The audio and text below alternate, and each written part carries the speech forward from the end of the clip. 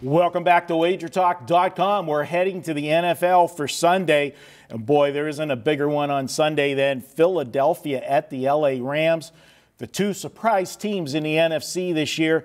This is going to be Ralph's best bet. Preston, I'm going to come to you. And a lot of people thought that both Philadelphia and the Rams were going to be improved. I don't think many people thought we were going to be talking about playing for home field advantage this week with these two teams. It's it's true. I am the one thing I hate the most about this NFL season is I didn't bet a Rams future to win the Super Bowl. Uh, they were my biggest season win total over. I bet them to make the playoffs, and a little bit on the division was like 20 to one.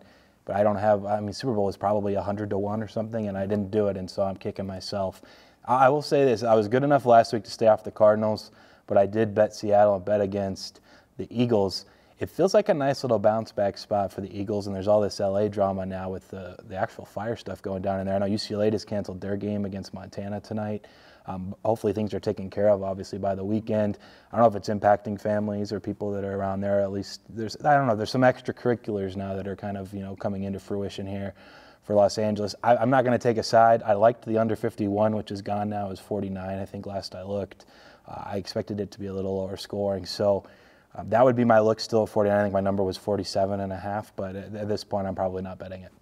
Ralph, you look at these two, and Preston alluded to the fact that you know the Rams got the job done on the road, which was an absolute horrible situational spot for them last week, coming off of the big game against the Saints, in this game on deck. To, you know, even though Arizona was a division game, if you look at who they had played the previous two weeks and who they played the following two weeks, for them to show up and get uh, take care of business, uh, you got to give them a lot of credit. But we've seen the public, I think, in the odds maker overreact because the send out number at Westgate for this game, the look ahead line was actually Philadelphia two and a half, and we've flipped it around now to the Rams. Because Philadelphia lost to Seattle, and I know Seattle's decimated with injuries on the defensive side of the ball, that is still a tough venue to go into and play. Well, yeah, I, I, don't like I don't like backing a team with the overreaction, but when I when I match up this game, I still have to back the Rams. You know, Philadelphia Philadelphia went to Seattle last night, played Sunday night, emotional game, and they're uh, they're actually practicing in Angel Stadium in Anaheim this week. So oh, okay. they stayed on the West Coast, as most teams do, but they're not the same thing as you know.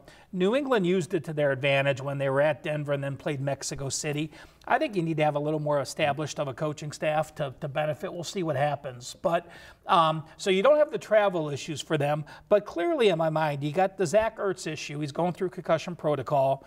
I mean, 57 receptions. He's 10 better than Alshon Jeffries, and he's 25 better than anyone else. So if there's any concern on Philadelphia's offense is if he doesn't go. But I just look at the Rams and I look at what they've done at home. I love their defense. I love their offense. When they're playing at home, their offense averages 58 yards more than their opponents allow on average. That's number six in the NFL.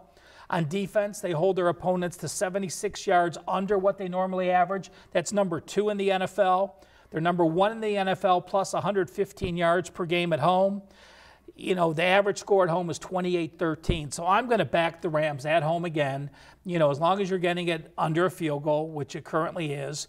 And you know, Philadelphia just hasn't proven to me on the road. Yes, the Dallas win is big. Yes, the Washington wins are big. But division games on the road are a little different than playing non division games, playing a second straight road game, traveling, staying out there for another week, not seeing your families, being out of your normal routine. And I'm going to back the Rams. All right, good stuff, Ralph. He says to take the LA Rams, lay the two and a half with the Rams on Sunday over Philadelphia. And guys, if you want to check out your favorite capper and get all of his picks, check out a three day all access package. It's just $59. You'll get every play he releases, both football and basketball. And don't forget, guys, if you like these videos, hit the thumbs up button and subscribe to our YouTube channel. This way you'll never miss a video once it's loaded and be sure to tell all your friends. We'll be back with more here at wagertalk.com.